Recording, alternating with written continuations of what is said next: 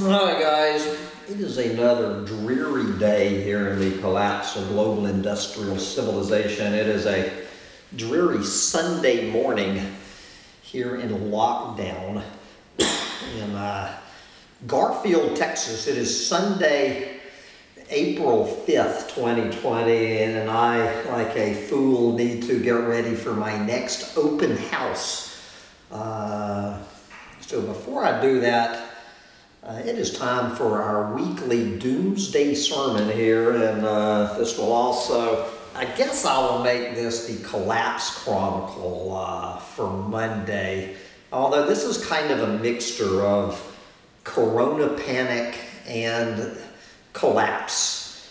And before I dive into this, just a couple of big thank yous to Brother Tyler for his very kind donation to my GoFundMe account, and big thank yous to Brother Malcolm and my soul sister, Sister Sandy, for their uh, very kind donations to my Patreon account. And for anybody who has ever supported what uh, I and Sancho Panza do on YouTube, all joking aside, guys, I really do appreciate the support here. Uh,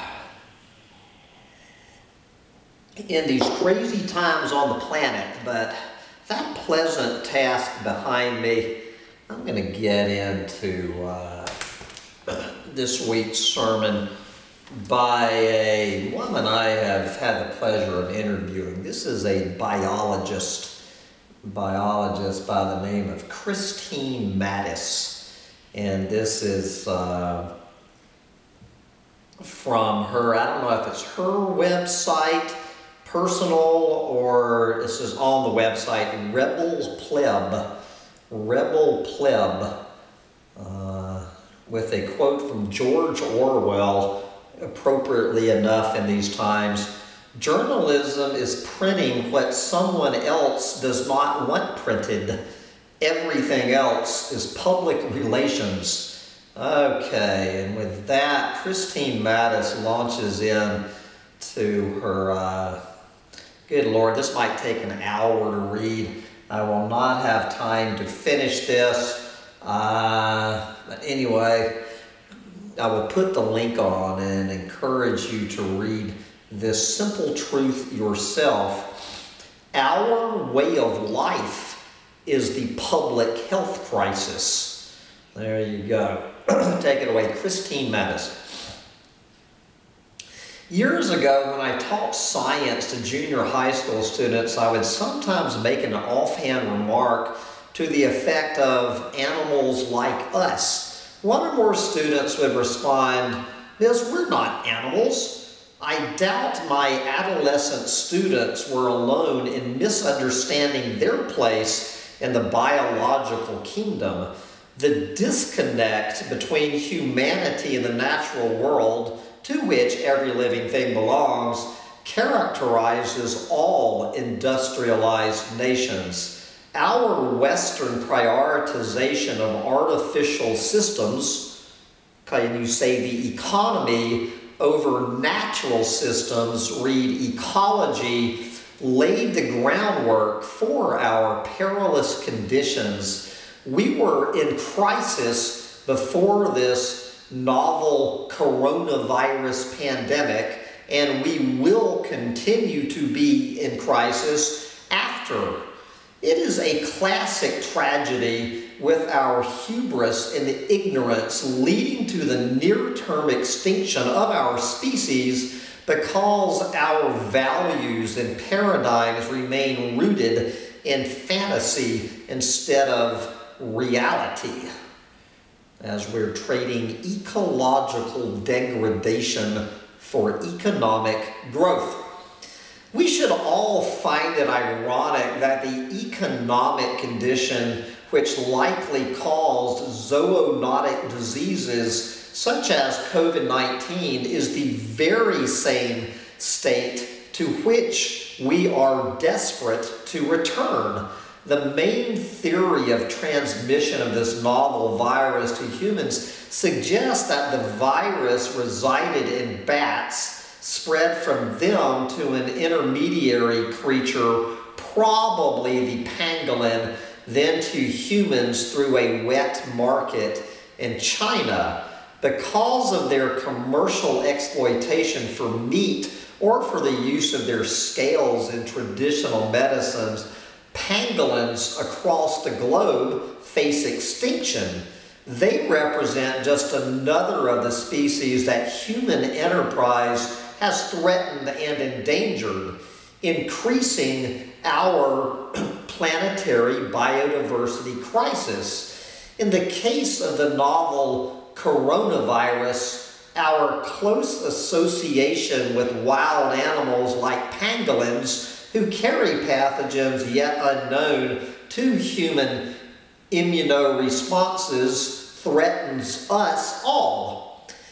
An unsanitary exotic meat market is simply one distinct situation that poses a pathogenic risk to human health. Our encroachment into previously wild areas of the planet for development, resource extraction, industrialization, and agriculture has brought about other recent novel viruses and diseases such as SARS, MERS, H1N1, Ebola, and AIDS. Epidemiologists, virologists, ecologists, and all types of scientists who study the natural environment had predicted the emergence of such a pandemic and know that the potential exists for far worse due to our overconsumptive economy. Our ecosystem disruption and proximity to wild species form the root cause of this viral pandemic Yet our focus remains on mitigation and excludes prevention, meaning prevention of future uh, pandemics that are going to be a whole lot worse than this one. The coronavirus has not only laid bare the fissures and vulnerabilities in our society, it has exposed our way of life dictated by our political economy for the life it is. It should be obvious that nothing has to be this way. It is all an illusion. We operate under a system of man-made laws that can be as easily dismantled as they were erected again, because I read someone's essay does not mean I agree with every point they make. It took how many thousands of years to make these laws. And anyway, I mean, I'm, I'm gonna I'm gonna let Kristine have her uh, sermon, and I'll try not to break in. Economics may have rules but any and all of these rules can be broken and altered in any way we please. when so-called leaders claim we cannot end homelessness, homelessness, poverty, student debt, lack of access to medical care, rampant economic exploitation and inequality, remember there's an infinite amount of cash in the Federal Reserve. Last week on 60 Minutes, Neel Kashkari, the official who managed the Wall Street bailout of 2008, explicitly leaked a key truth as so many of the powerful often do when they talk long enough. Of course, in 2008, as now, that money created out of nothing is mainly available via the powers that be to supply themselves and their plutocratic friends. Sure, desperate citizens may have been allocated a pittance that cannot even cover one month's rent in most regions, but those crumbs were dispensed just to quash potential unrest.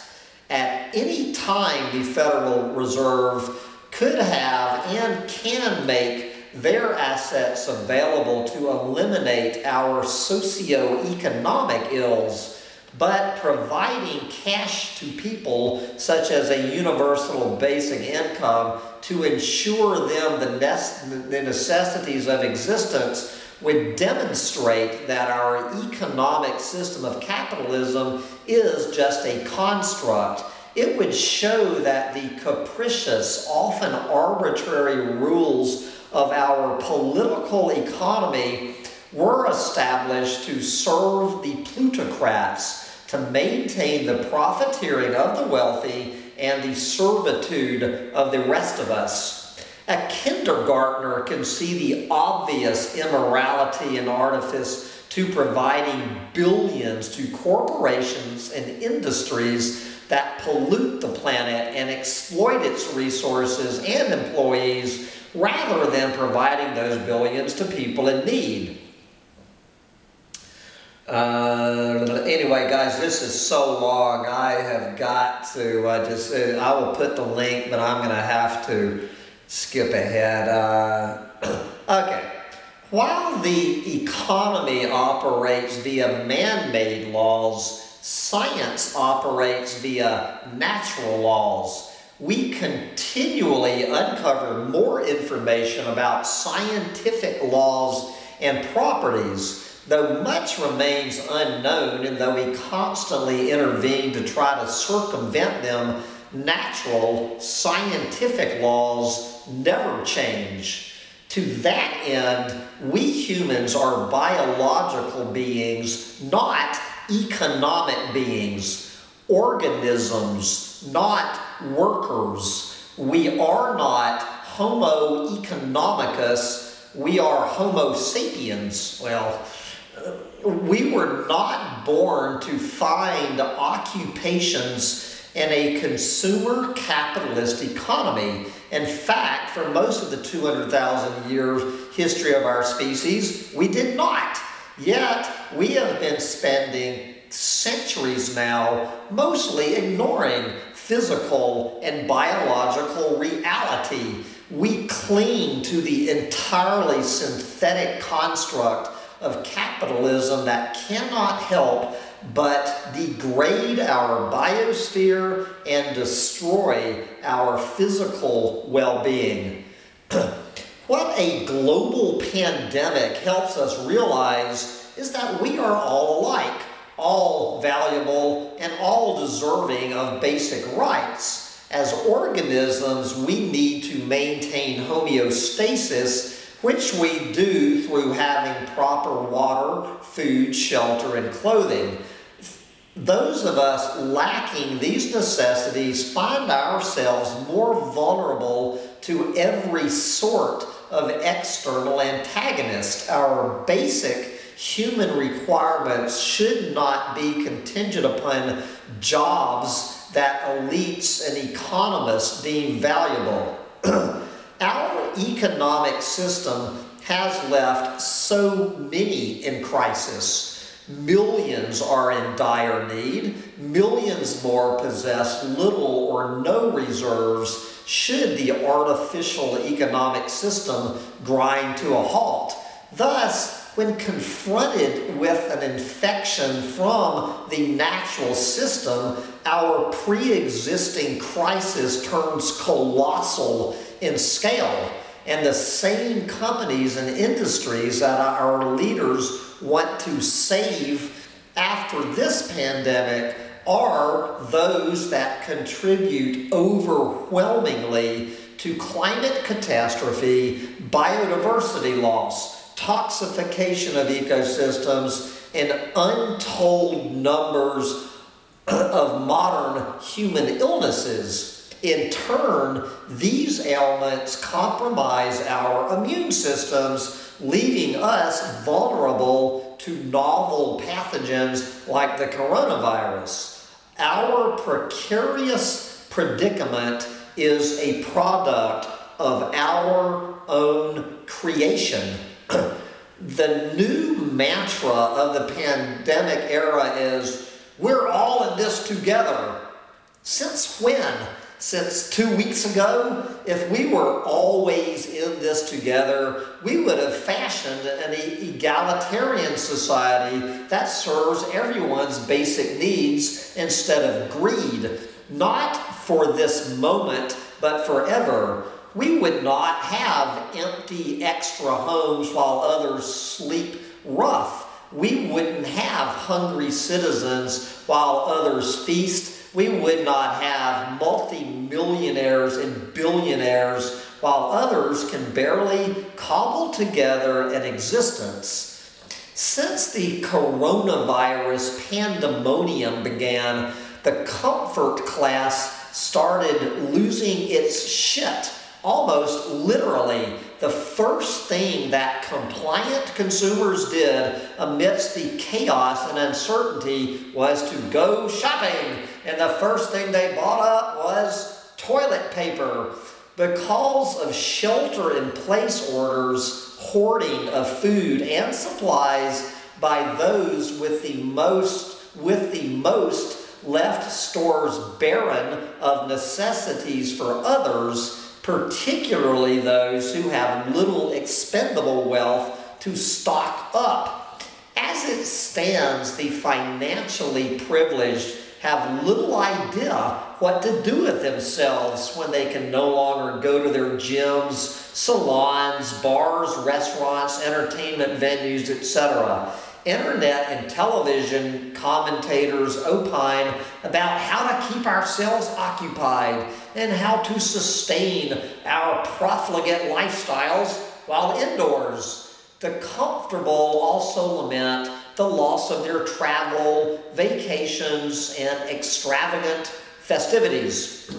On the other hand, the not so comfortable see little difference in their lives the unemployed and underemployed who could not afford such luxuries stay home and search for their elusive work as usual, remaining as frugal as possible to maintain a roof over their heads and food to eat. Those with no food or shelter face their typical inhumane struggle for survival amid a more acute existential threat to their lives. In some places, the homeless are being temporarily housed for public health protection, and we are left to wonder why this cannot be accomplished all the time. Hint, it can, and why we only care when their precarity directly threatens us.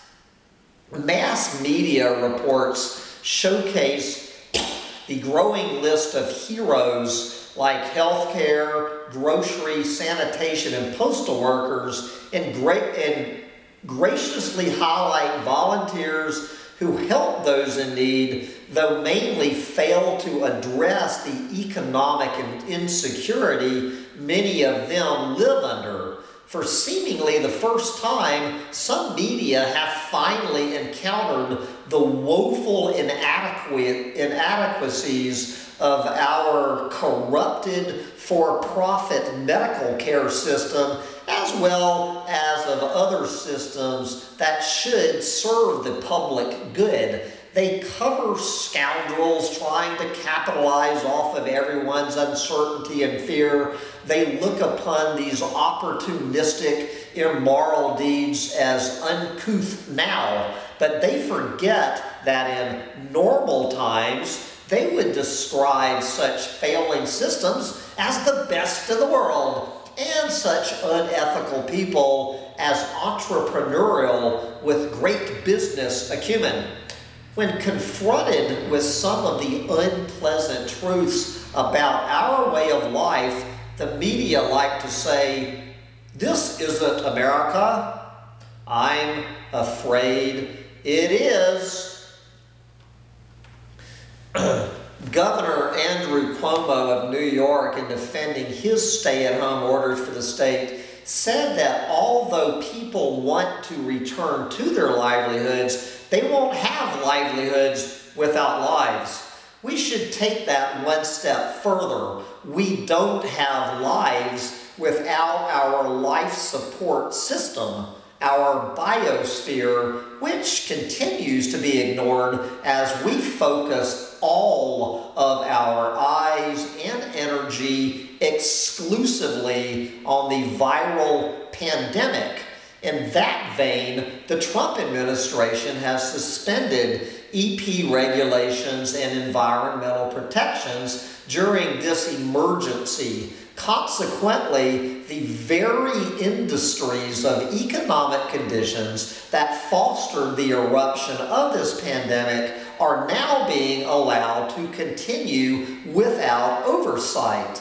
The stoppage of all unessential services uncovered further truths about our way of life in the context of environmental sustainability, while a headline from The Onion satirically stated thousands of formerly endangered white rhinos fled city streets mere days after human quarantine indoors, they were not far from the truth. In reality, wildlife returned to the cleaner waterways in the Venice canals air pollution and greenhouse gas emissions decreased dramatically throughout the U.S. and across the globe as unnecessary transportation, industry, and commerce halted.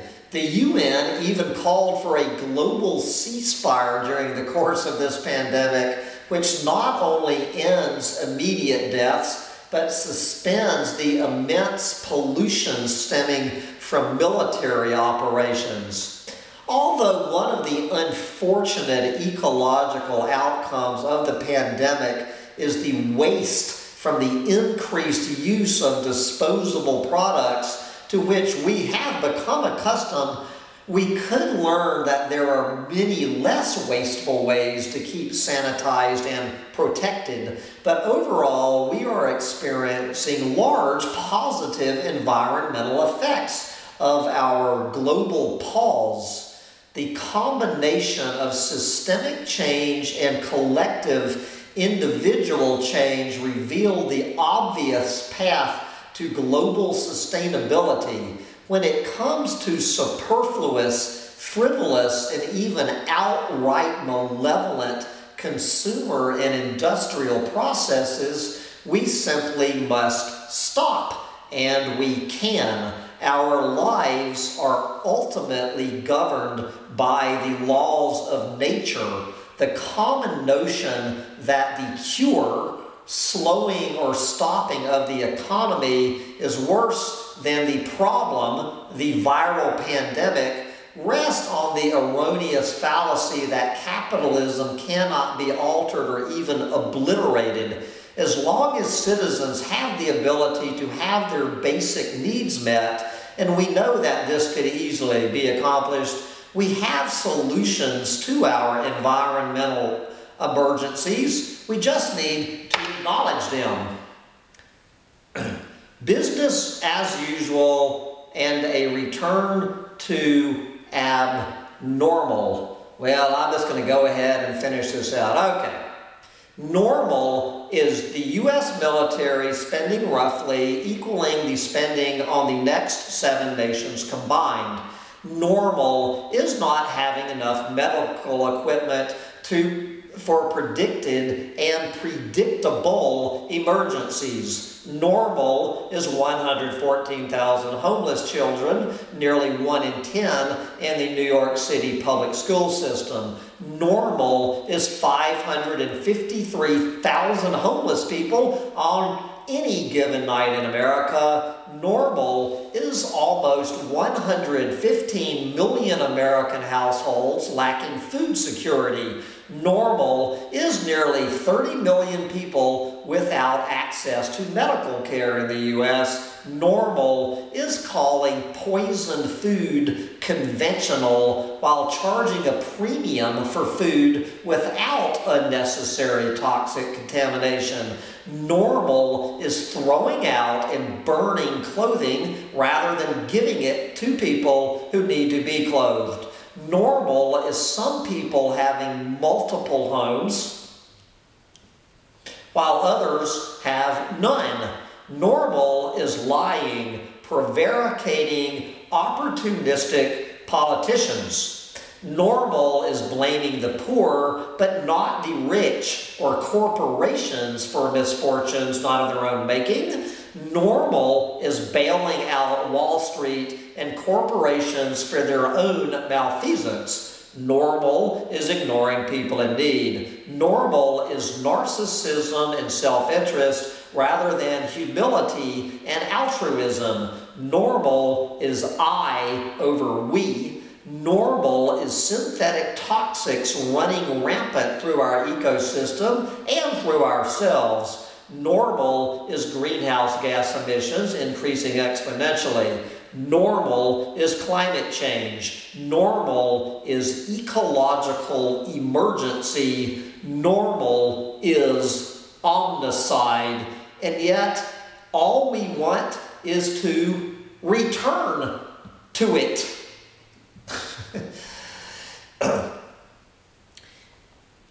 In devastation, there is opportunity.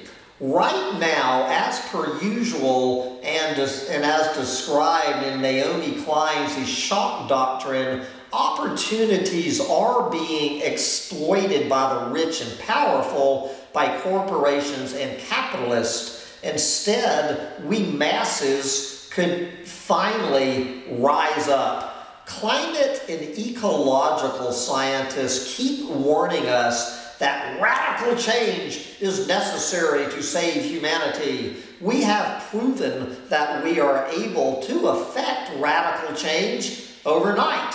The time for radical change to a more equitable, just, and sustainable society is now. We have changed our lives and our industrial processes drastically to deal with an acute viral emergency. We can likewise change our lives fundamentally to deal with our chronic ecological emergency as so many have said so many times before, business as usual is no longer an option because business as usual brought us to the precarious place where we stand.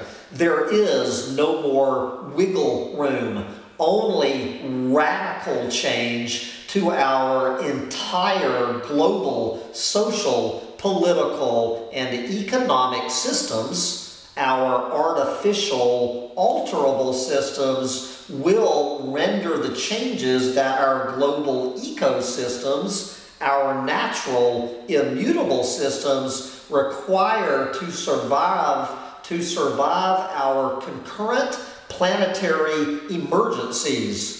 We made this economic system quite recently. The stock market only began a few hundred years ago. Compared to our geological time frame, it is all a modern historical phenomenon. We can unmake it. In the short term, we could bail out citizens, not companies. Any funds provided to corporations should be investments, and we should own the corporations like they have always owned us. But really, we should just let them fend for themselves like we all have to do. We could, we could nationalize essential services. We could enact the precautionary principle to prevent future environmental health crises. In the long term, we could introduce prevention and preparation to enhance our resilience.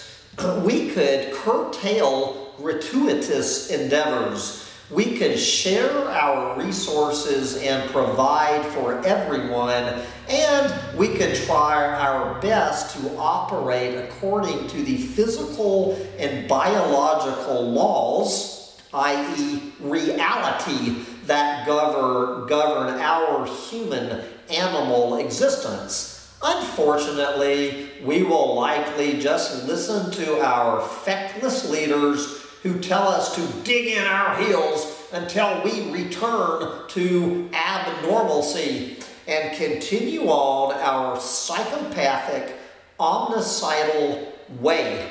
Our current way of life is not innate, not biologically absolute, because it threatens the future of all human life, it is the largest public health crisis on the face of the planet.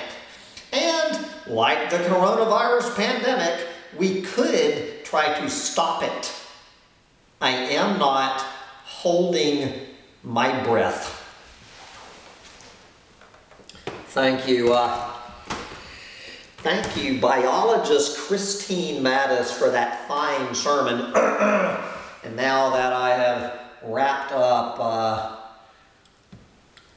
wrapped that up, I need to skedaddle because uh, I am trying desperately to sell this house in a panic.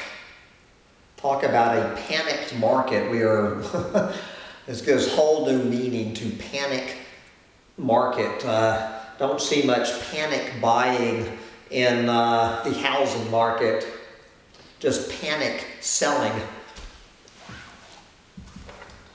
Bye, guys.